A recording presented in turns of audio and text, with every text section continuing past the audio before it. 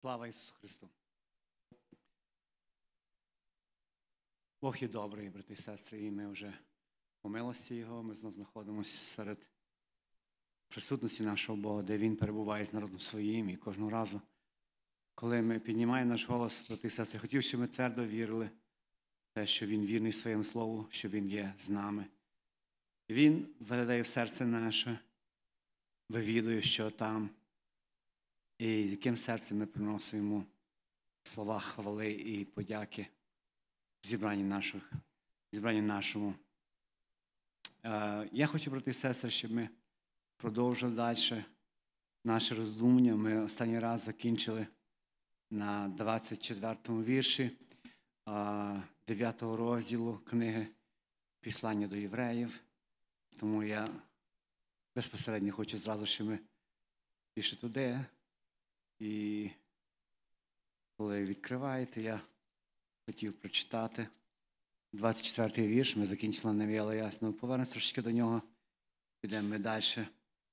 24-й вірш 9 розділу каже, бо Христос увійшов не в рукотворну святиню, що була на взір правдивої, але в саме небо, щоб з'явитися перед Божим лицем за нас.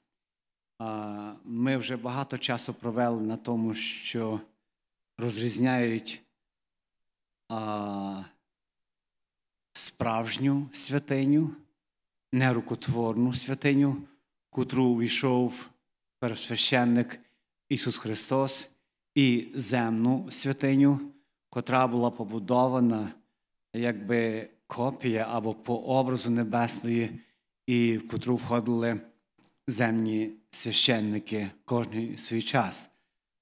Але що я хотів підкреслити, ще не раз нагадати, брати і сестри, слово, якщо ви дивитесь, з'явитись у нас у 24 му вірші, але самим небо Христос вийшов для того, щоб з'явитись перед Божим лицем за нас.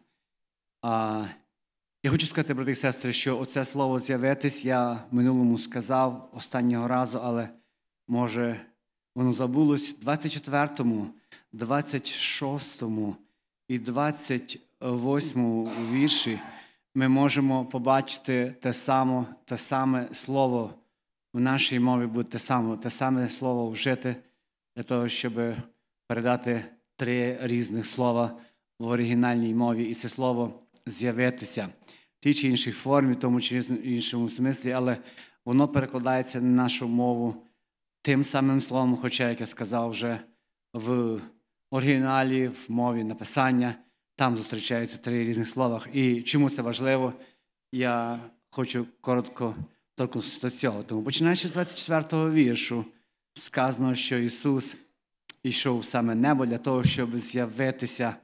І я вже минулого разу, здається, казав, що в цьому випадку слово з'явитись означає, що Таким чином закінчилася місія Господа Ісуса Христа як Спасителя всіх людей. Він увійшов і своїм там входом в цю небесну святиню, нерукотворну святиню, він якби відрапортував і сказав, що та місія, котра була покладена на нього, що стосується спасіння всіх людей була е, виконана. Тому оце та ідея, котра передається в 24 му вірші словом з'явитися, бо Христос увійшов в нерокотворну святиню, що була на взір правдивий, але в саме небо, щоб з'явитись тепер перед Божим лицем за нас. Знаєте, що цікаво, порівнюючи з е, аналогією того, як священник з'являвся один раз в рік в святиню або ми називаємо це святеє, святих, Holy of Holies, так по-англійськи звучить. Різниця між тим, як це ставалось тоді, а, пересвященник, коли входив раз в рік в святеє святих, він обов'язково мав справляти кадіння, куріння, і він вносив з собою.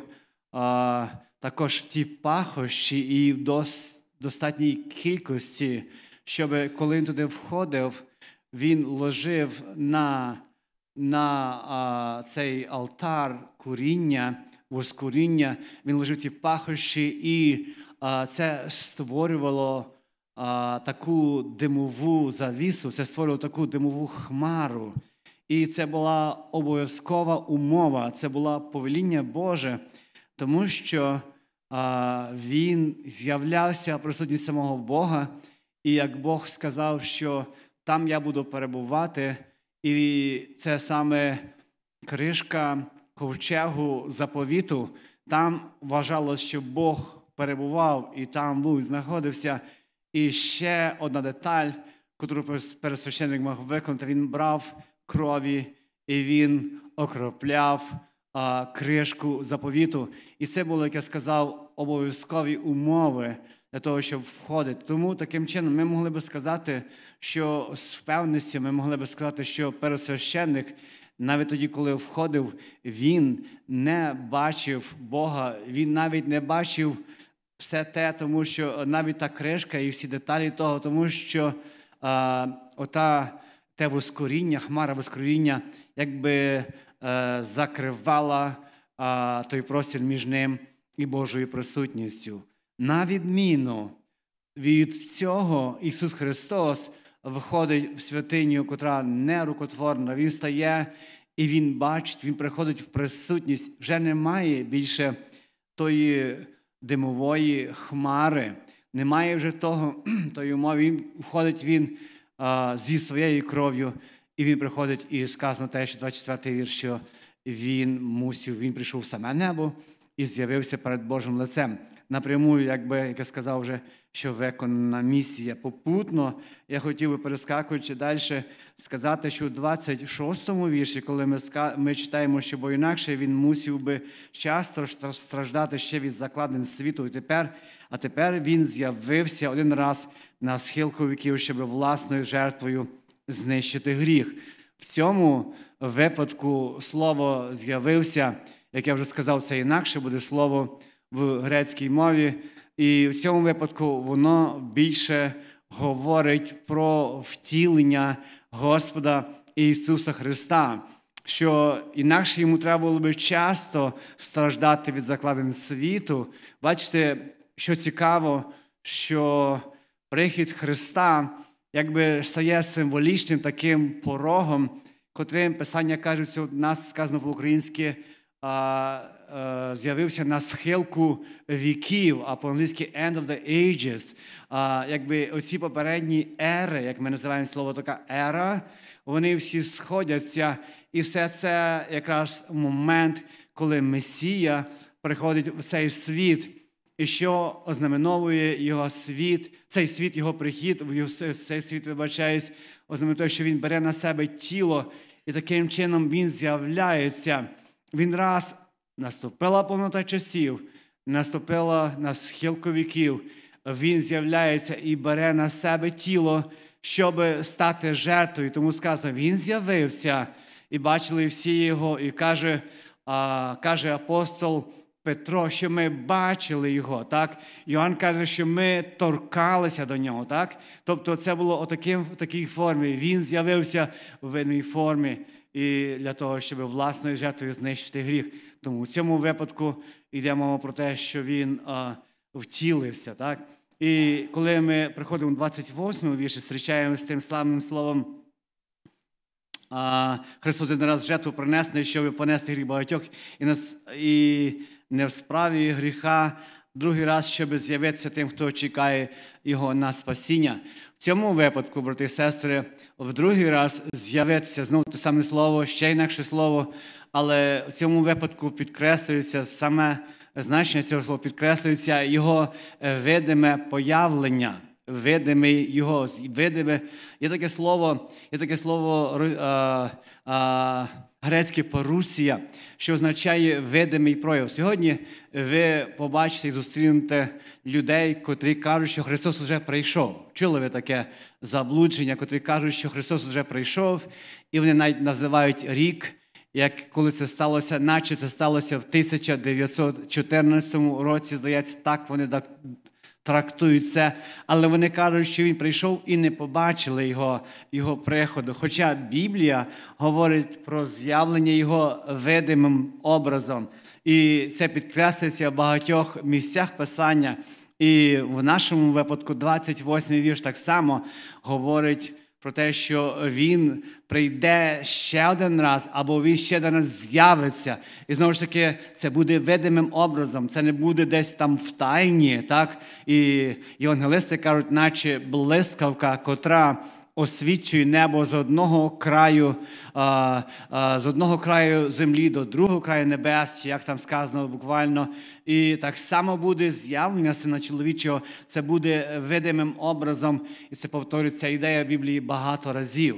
Тому і тут ми так само зустрічаємось, що Ісус Христос один ще один раз з'явиться, і це буде не для того, щоб понести гріхи багатьох. Бачите, в цьому випадку більше мови не йдеться про гріх.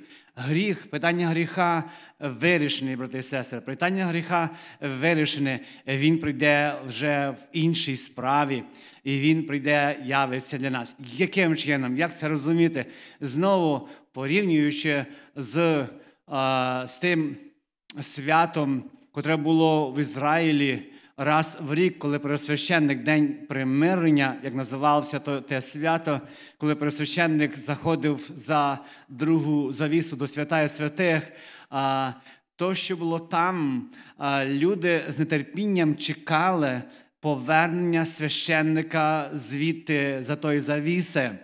І ми знаємо, що на одежі пересвященника були оті дзвіночки, котрі давали знати людям, що він передвигається, що він рухається, він пересвященник, що він а, живий, якщо можна так сказати, і що він виконує те, і люди чекають з нетерпінням його появлення, щоб він що зробив, говорячи цим самим словом, що він знов з'явився, щоб він знов прийшов, що він appear, і це чекали з нетерпінням. Чому так важливо було дочекатися? Тому що якщо він появиться знову, звідтам повернеться і він з'явиться для народу, то це буде означати, що Бог простив гріхи. Божого народу, і вони можуть знову відчувати себе чистими, їхні гріхи покриті. Ми кажемо так, вони були до часу покриті, і в жертві Христа вони були прощені. Але це було важливо, що вони чекали.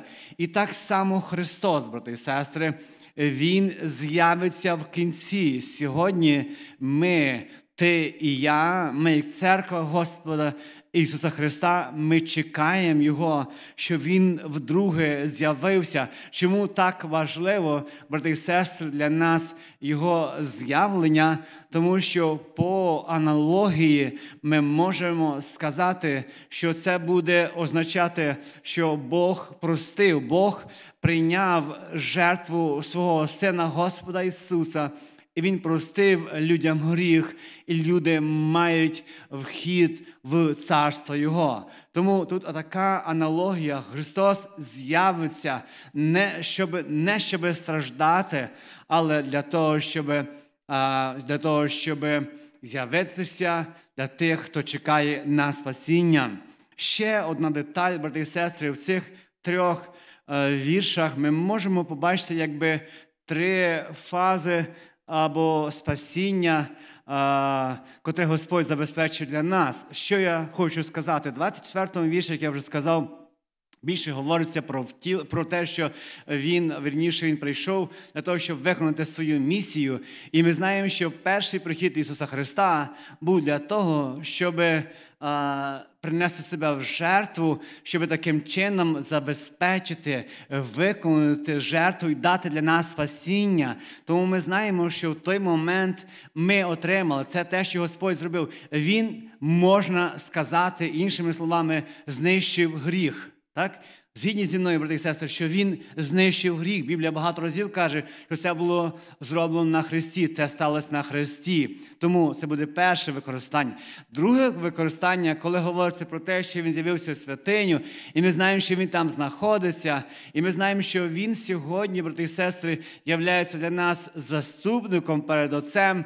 Що він робить для нас практично, він дає нам силу перемагати гріх, незважаючи на те, що він знищив гріх першим своїм приходом. Але коли він на небо з'являється, коли він сідає праворуч Отця, він дає сили для тебе і для мене, щоб знищувати силу гріха твоєму і в моєму житті, брати і сестри. Це те, що стається сьогодні. Або ця стадія його спасіння, він, а, а, що він забезпечив, він дає силу для перемоги над гріхом для кожного з нас. І на кінець, коли вже буде третій, він з'явиться, то тоді вже буде кінечний момент спасіння. Це буде означати, що ми будемо святкувати з'явлення Господа Ісуса Христа. І ми будемо казати, що все закінчено, і ця остання стадія спасіння буде показувати, що ми з вами, брати і сестри, навіки з'єднались з нашим Господом. Отакі цікаві думки, на мій погляд, знаходяться тут, у цих віршах. Тому, якщо ви хочете запитати щось, або ви хочете зробити свій коментар, ви можете зробити зараз.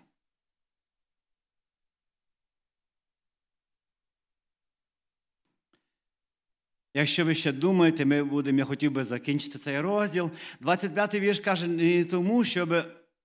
Давайте 24-й каже, що він йшов саме небо, щоб з'явитись тепер перед Божим лицем за нас, і не тому, щоб щоб часто приносити в жертву себе як пересвященник, уходить в святиню кожнорічно, кожнорічно з кров'ю чужою. І ми вже це торкнулися до цього, що пересвященник це робив кожнорічно, раз в рік він це робив, і він входив з жертвною кров'ю або з чужою кров'ю. 26 вірш, бо інакше він, тобто Христос, мусив би часто страждати ще від закладин світу.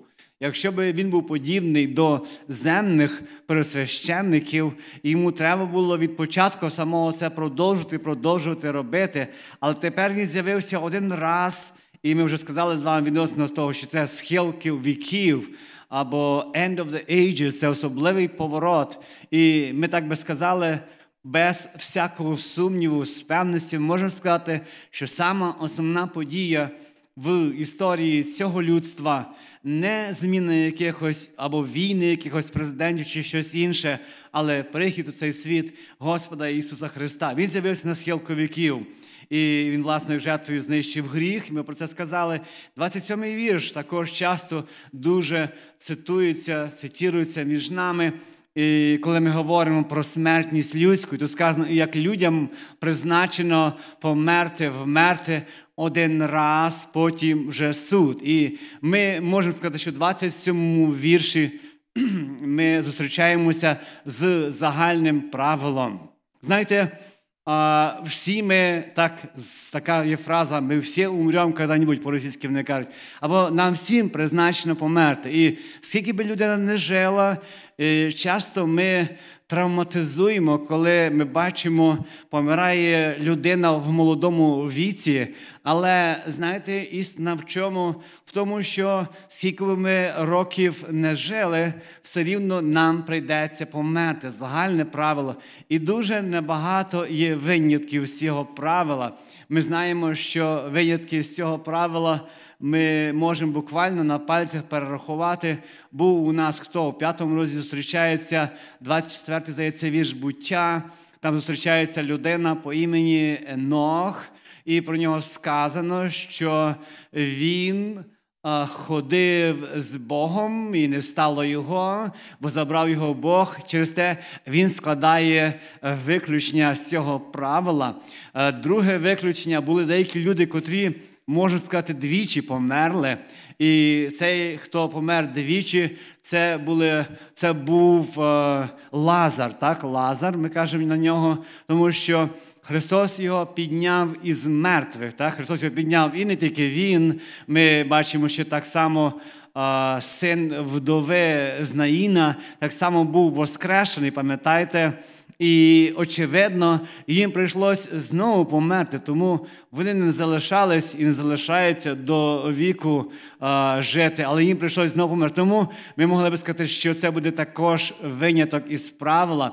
Ще одна деталь, що ми зустрічаємось, коли Христос Ісус а, помер, то сказано в Євангелії Матфія, єдиний євангелист, нам про це говорить, що земля затряслася, і скали розсипались, я говорю приблизно до тексту, і гроби повідкривались, і деякі тіла мертвих святих повиходили звітам після Воскресіння, вони появились у святому місці. Так, приблизно цих зміст цих віршів, приблизно, я не точно цитую.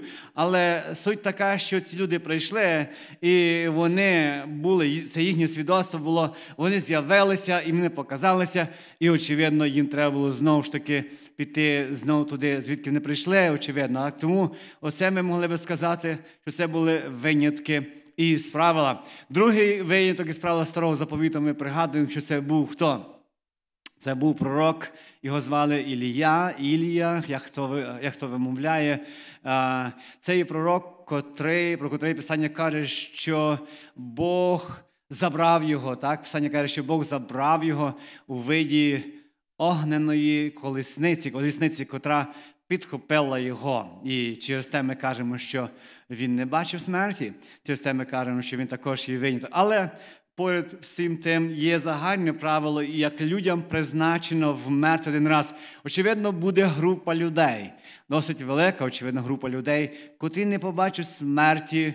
І вони будуть ті, про котрі сказано, що при голосі Архангела і трубі, трубі, і труби Божої, так, будуть те станеться подія, що Господь зійде з неба за своїми святими і мертві воскреснуть, але каже апостол Павло, що ми, що зосталися в живих, ми перемінимось, так? Ми перемінимось. Тому оці люди, котрі ми, апостол Павло причисляє себе не тому, що він надіявся жити аж до того моменту, очевидно, але те, що він знаходився в числі живих.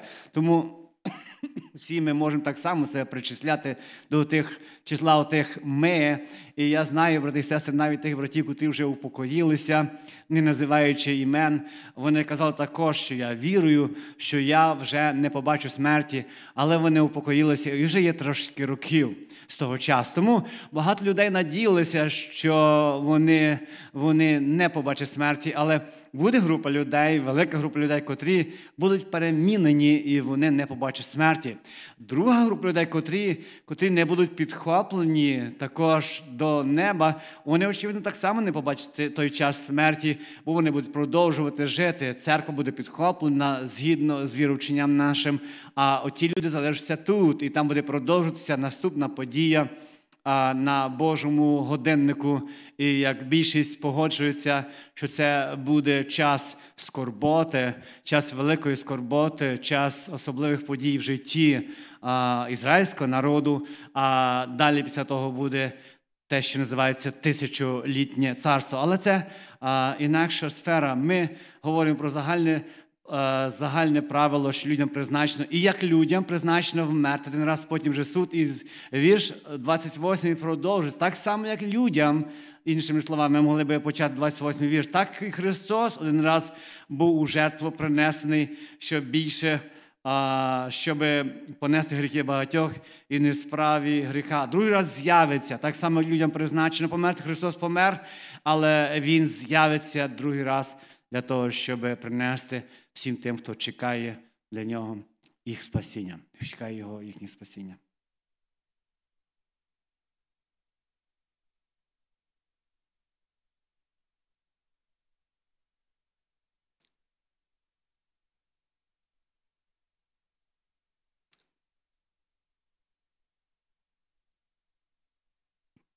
Вернуся до того місця, де говориться про про з'явлення Христа.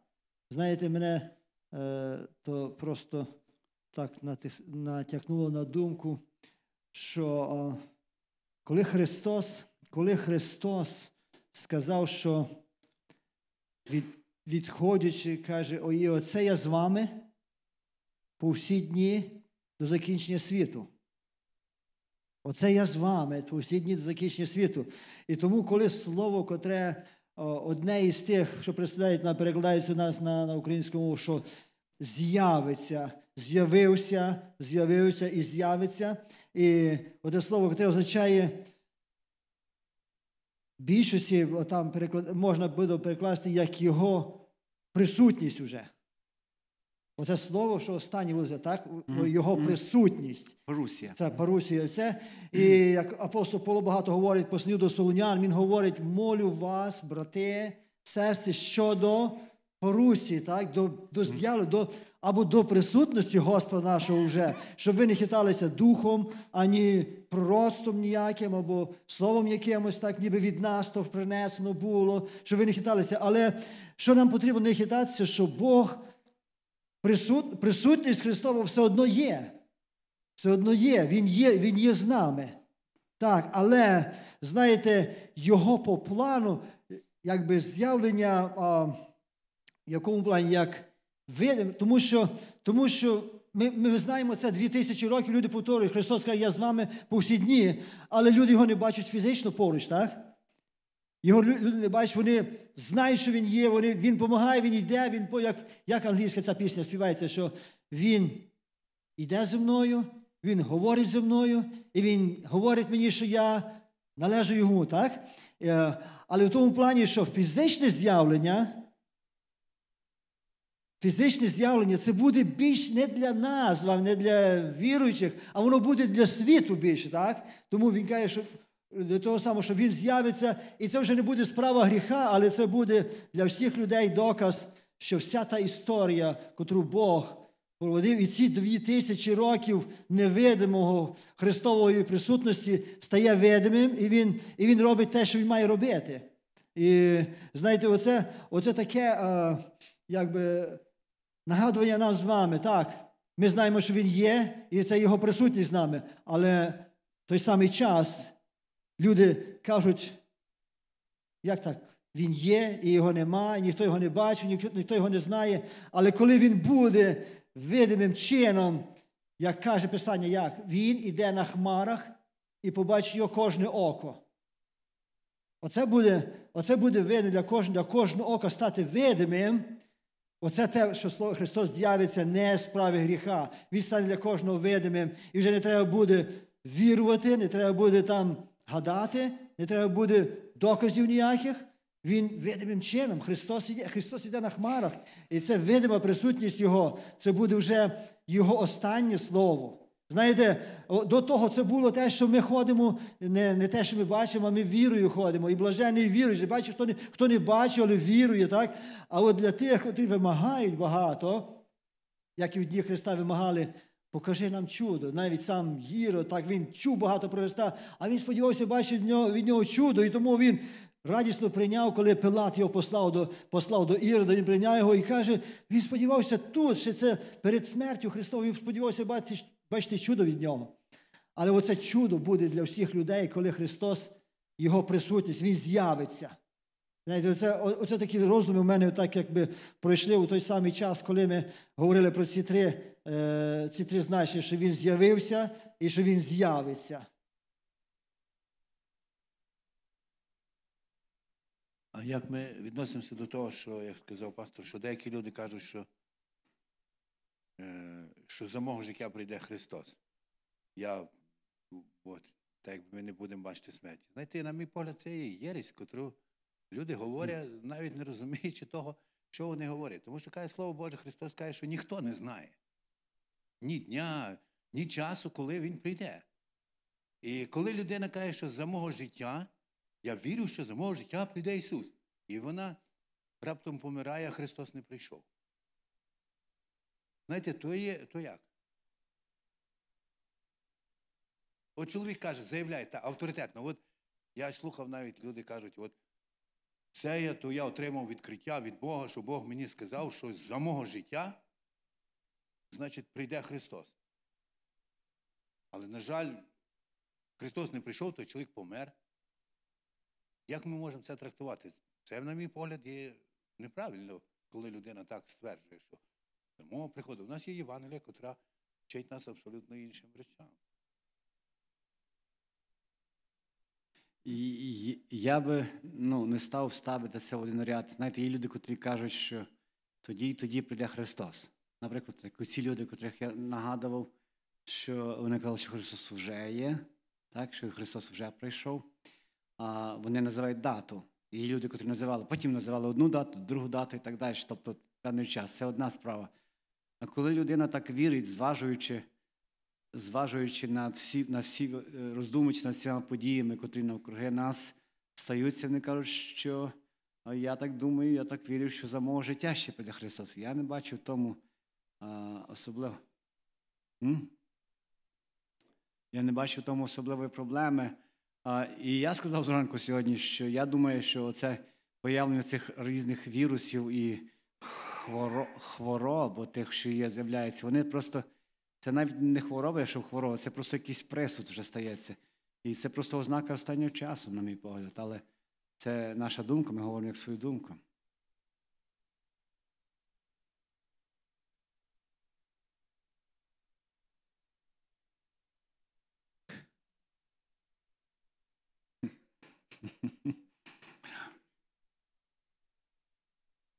Ми розуміємо, що йдемо про дня і годину, то вона прив'язується до року, вона йде окремо. Тому це не проходить такий, такий варіант. Окей, брати і сестри, я ще, ще хочу додати буквально два слова відносно 27-го віршу. Там сказано, людині е, треба померти, а потім суд. І два слова про суд. Ми знаємо, що Біблія розглядає два, дві події, які називаються суд.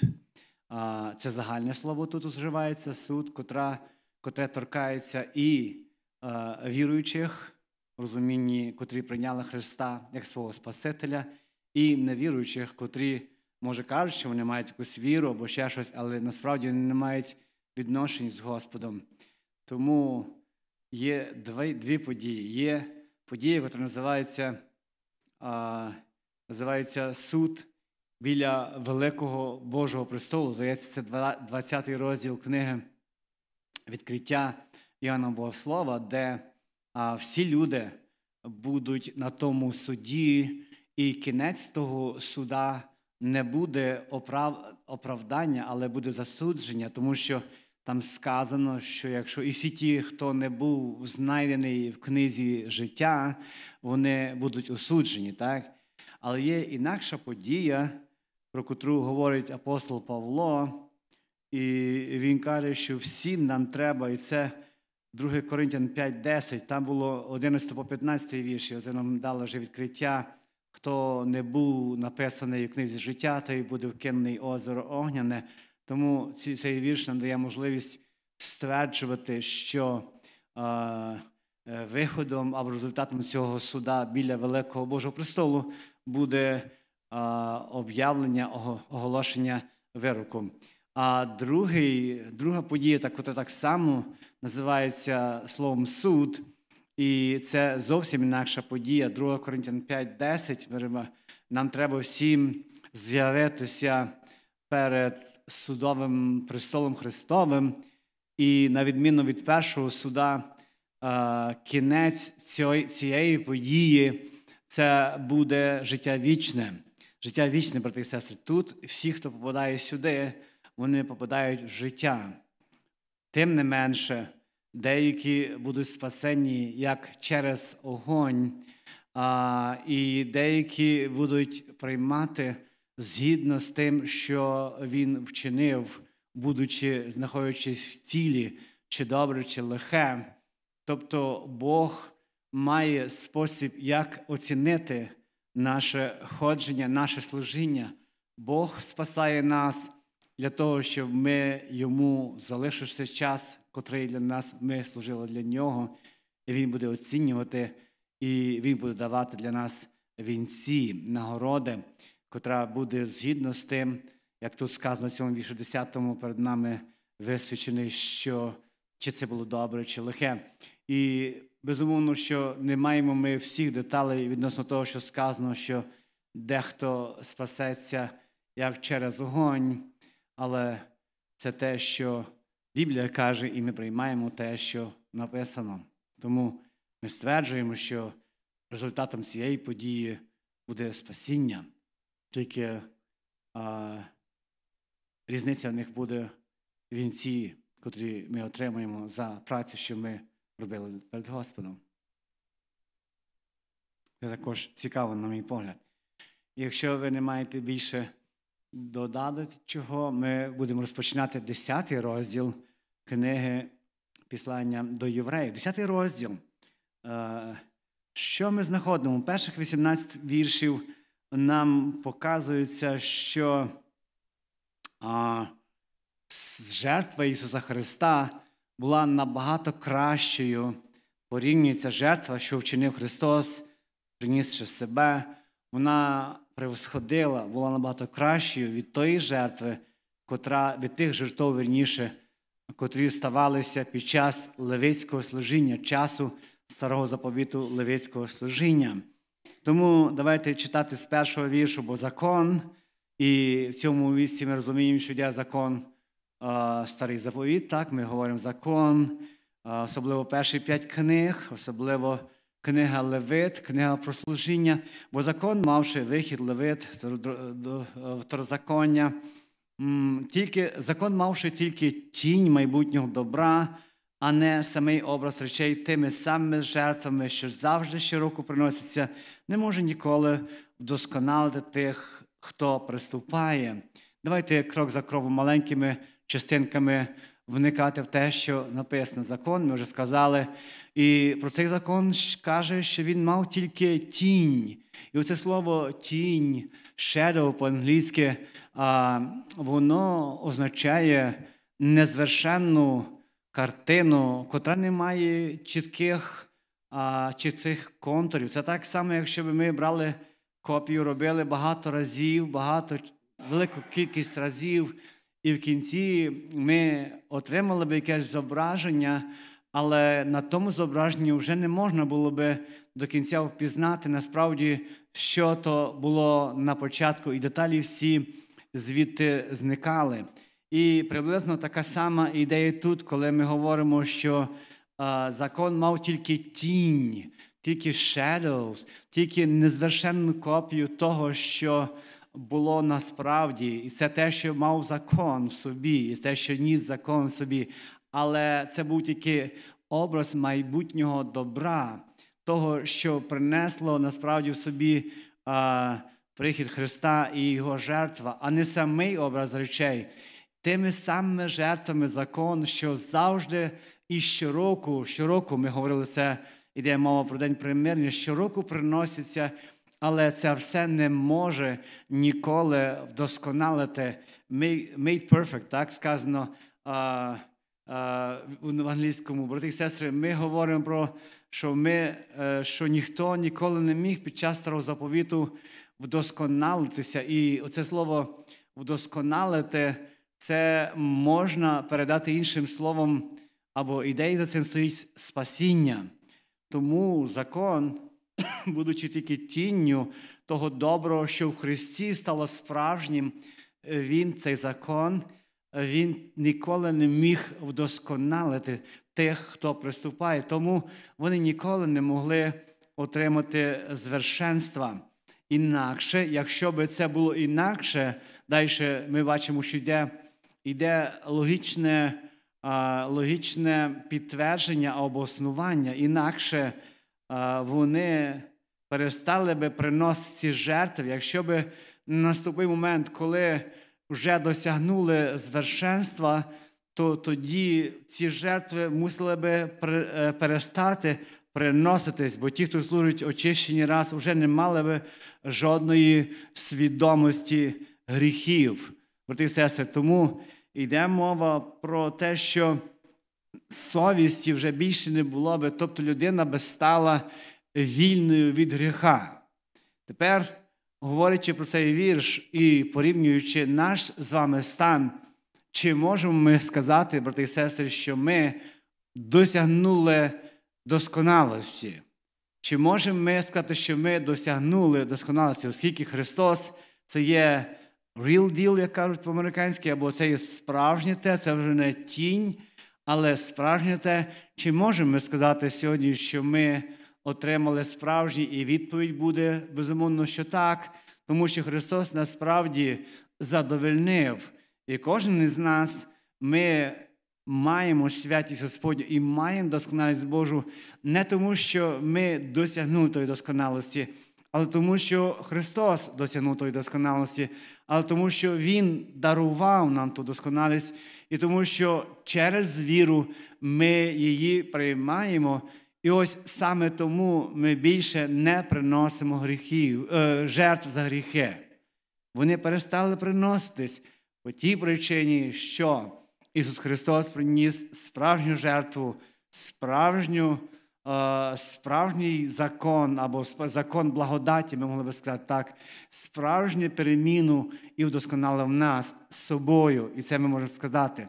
Тепер, щоб не було тут, щоб не було тут для нас якогось недорозуміння, я хотів би сказати, брати і сестри, що кожен з нас ми маємо а, досконалість і звершенство в тому, що Бог проголошує для нас, і це часто називають позиційна святість, і ми далі будемо говорити про це. Це те, що Господь подарував, але є інакша святість, котру Господь хоче, щоб ми досягали, яким шляхом? Шляхом того, що ми що ми е, кожен день пильнуємо своїм життям, що ми кожен день стараємося освячуватись, що ми кожен день стаємо ближче до Ісуса Христа. І один із цих днів, коли закінчиться наше життя і ця наша боротьба, все буде покінчено, і ми отримаємо те повне спасіння, що Бог для нас дарував. О, приблизно така картина спасіння, що Господь предназначив для нас. І продовжуючи, інакше вони перестали приносити. Третій вірш каже, але в них спомін про гріхи буває щороку в тих жертвах, так, щороку в них нагадується, що гріх продовжує продовжує існувати, тому що щороку це приноситься, жертви приносились в той час, бо тож неможливо, щоб кров биків та козлів здіймала гріх. Це важливий вірш також, але ми будемо роздумувати над ним тепер. Якщо ви хочете кілька слів сказати або зупинитись на попередніх віршах, ви можете зробити зараз, брати, сестри, будь ласка.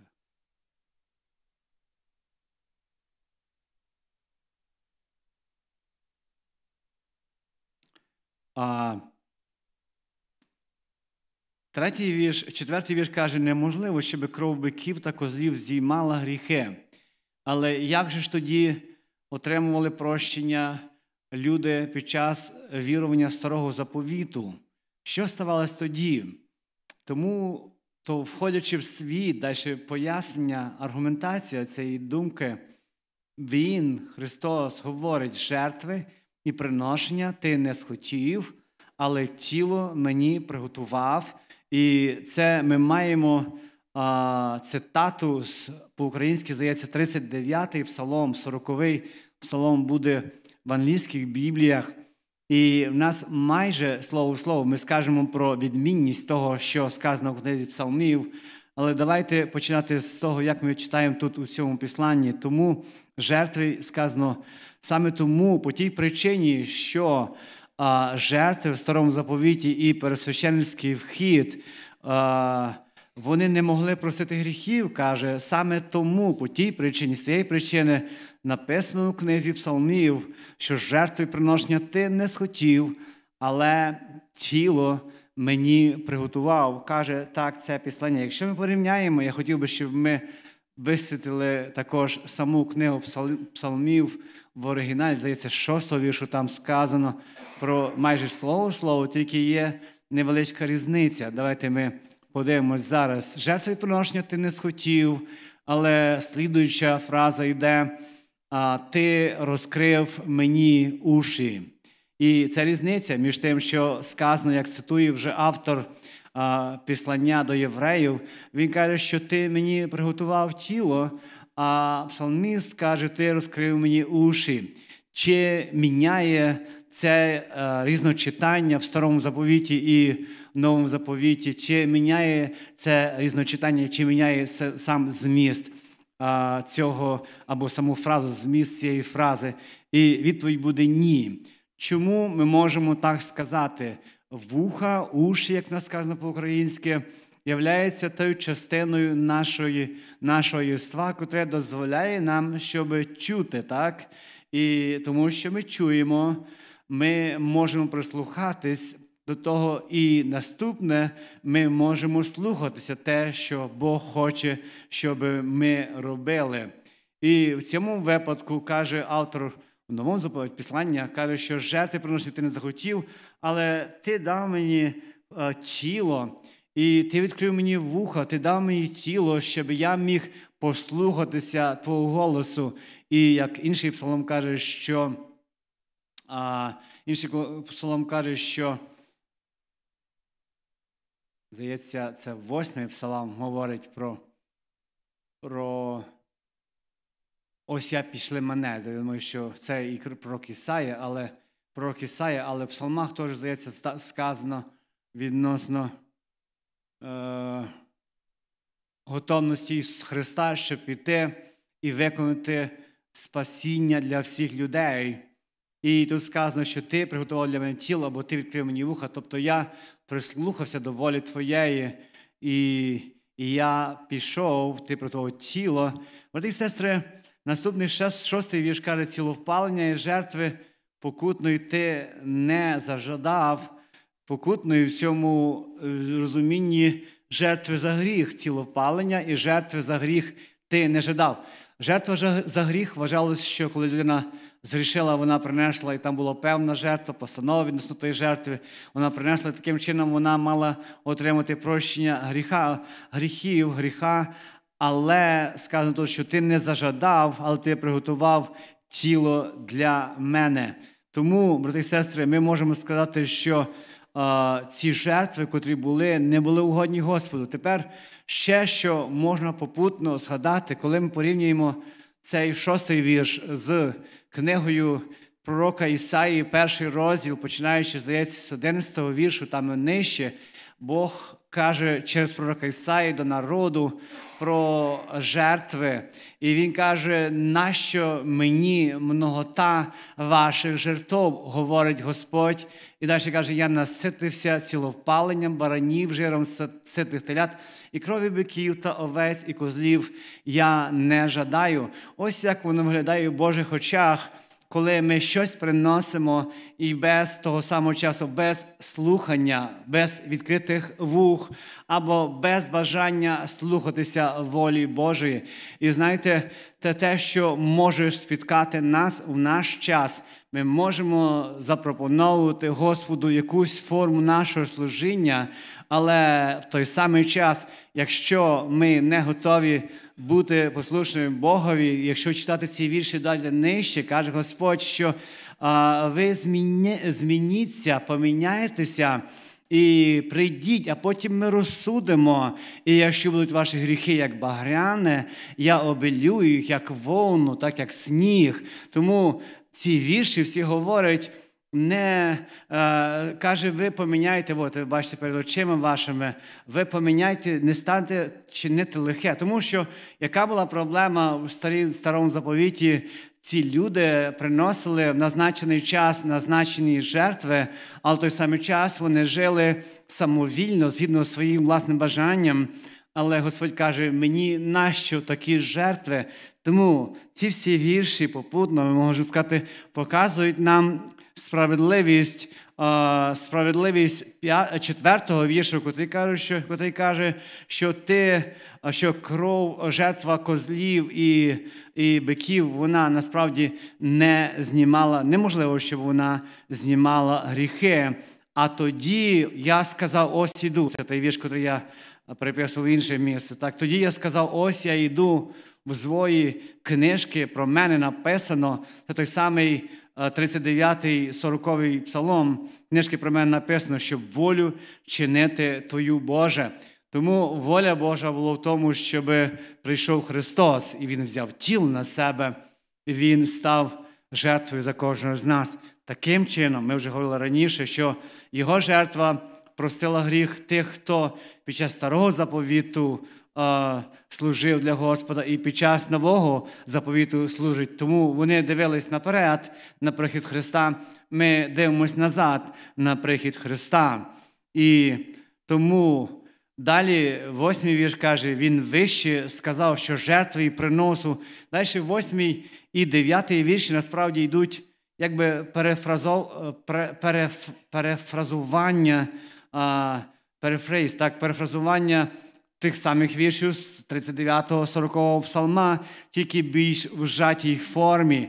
Він вище сказав, що жертви і приносу, бачите, ті самі слова та цілопелення і жертви за гріх або покутної, які за законом приносяться, ти не жадав і собі не вподобав. Потім сказав: ось іду, щоб волю твою чинити, Боже. І далі важливі слова, брати і сестри. Відміняє він перше, щоб поставити друге. Він відміняє перше, тобто, що було перше і що є друге. Перше було е, приношення жертви покутної, жертви цілопалення і всіх інших жертв, жертв, котрі приносили в той час. Але це все робиться для того, щоб поставити друге, і це друге, безумовно, жертва Ісуса Христа і прощення по вірі. Він відміняє одне і він ставить інше. He takes away по-англійськи, він забирає, не стільки як відміняє, він забирає. Тобто якийсь час ця форма покривала гріхи до якогось часу, а потім він це забирає для того, щоб дати інше. Пам'ятаємо, брати і сестри, в нашому розумі завжди, коли ми читаємо книгу Писання до євреїв, ми пам'ятаємо, що автор говорить до людей, котрі живуть і жили роками в служінні старого заповіту. Вони мали це всі образи в своєму серці, і він їм показує в цих перших 18 віршах, як я сказав, що насправді те, що Христос приніс, багато краще, і жертва, що Він приніс багато краще, і та, що Він відмінив, вона уступає, вона приносилась завжди, і люди залишалися незвершенними. Але Христос прийшов і Він удосконалив нас. І тому 10-й вірш каже: у цій волі ми освячені. Дивіться, знову це слово, на котре я трошечки вже торкнувся раніше. По цій волі, якій волі? Тому що Він відміняє або забирає перше і встановлює друге. Він по цій волі ми освячені жертвоприношенням тіла Ісуса Христа один раз. Слово освячення важливе слово для нас, брати і сестри. Я хочу, щоб ми всі мали чітке розуміння. Моє бажання, щоб ми розуміли, що це є важливе слово.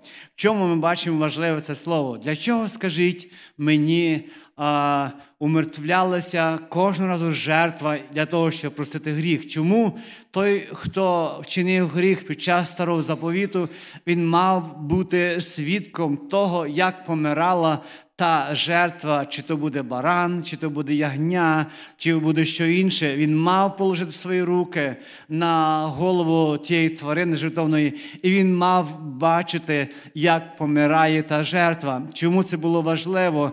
Для того, щоб в основному ці дві ідеї, дві цілі за цим. Перше, щоб показати, що Бог є святий, і Бог требує певного рівня від людей, що вони могли мати з ним спілкування. Тому було в людини спілкування, а потім людина свершила гріх в своєму житті. І для того, щоб знову її мати спілкування з Богом, її треба, щоб вона положила свої руки на цю жертву, і щоб ця жертва померла. Навіть для того, послухайте уважно, брати і сестри, я закінчив вже, але навіть для того, щоб гріхи були покриті, навіть не прощені в розумінні, як Христос знімає гріх, але щоб були покриті до часу треба було, щоб була смерть. Треба було, щоб була пролита кров, і вона проливалася за кожний гріх. Таким чином, це показує, що Бог має свій рівень святості, і Бог показує також, що якщо людина хоче бути разом з Господом, бути близько до Господа, вона має мати той самий рівень святості. І людям неможливо було досягнути того рівня святості через приношення тих всіх жертв, як би вони не намагалися. І тому приходить цей світ Господь Ісус Христос. And the, at the end of the ages, або на схилку віків, як сказано, Він приходить і жертвоприношенням своїм. Він один раз освячує людей. Це є те, що ми називаємо позиційна святість. Це є такий термін, брати сестри, що означає, якщо ти в Христі, то ти, тобі належить Христова святість. Коли стається, що ти йдеш або ти стаєшся в Христі, якщо ти, а, якщо ти визнаєш свій Свій гріх вибачаюсь, і визнаєш, що Господь помер за тебе, і ти жалієш за свій гріх, ти приходиш до Христа, і Він тебе прощає, і ти отримуєш те, що я вже сказав, оцю позиційну святість в Господі нашому Ісусу Христі. Тому це сталося один раз, і немає більше потреби, щоб Христос помирав більше, тому що Він це зробив досконало один раз, і не так, як це було зроблено під час старого заповіту. О, Такі думки я хотів, брати сестри, висловити для нас сьогодні в цей вечір. І якщо ви хочете звернути нашу увагу на якусь деталь, котру ми тут випустили, то ви можете це зробити. І ми будемо приходити до нашої молитви до закінчення.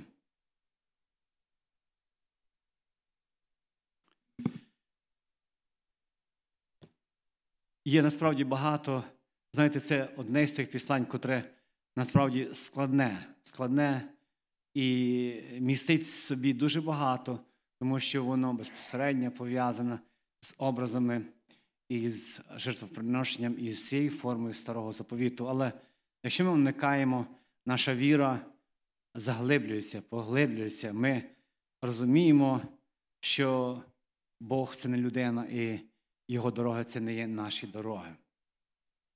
Якщо ви маєте якусь особливу потребу, і ви не сказали про неї зранку, або вона виникла між оцими е, зібраннями нашими, ви можете сказати, брати і сестри. Ми ще один раз згадаємо про те, що сьогодні є е, Національний день молитви. Ми помолимо за країну. Знаєте, і, і ви знаєте, що розпочинається також і предвиборна боротьба, вже розпочалась насправді. І ми знаємо, що це не просто справа в кандидатах, котрий переможе, але ми, християни, розуміємо, що йде завжди боротьба між добром в Божому розумінні і темрявою в Божому розумінні. Тому ніхто з кандидатів не є звершенний, брати і сестри, але я ніколи про це не говорив ще. Але я думаю, що я маю говорити про це, що наш обов'язок як християн, щоб нам голосувати, брати і сестри, нам треба голосувати. І я не голосував, я визнаю свої провини, але Бог, я вже казав, напевно, дохорив мене за те, тому що не голосуючи, ми насправді даємо можливість, щоб оте, що хочуть люди пробігнути, щоб воно мало місце. А голосуючи, ми використовуємо те, що Бог дав для нас. І ми стараємося робити вплив той, котрий нас по силах. Більше всього ми розуміємо, що коли ми молимось, ми робимо вплив, але також наш людський голос нам треба вживати. Тому я зареєструвався, брати і сестри, вже до голосування цього року. Господь дозволить, я хочу проголосувати і закликаю також для вас. Давайте помолимося в молитві, щоб ми молилися за, за цю державу, цей народ, весь, а, котрий Бог має в своєму плані також, щоб використовувати для слави своєї. Помолимось також за це. І в зв'язку з цими всіми подіями, з цими хворобами, з переполохом, котрий сьогодні має місце. Якщо немає вас чого додати, давайте помолимось. Бог наш.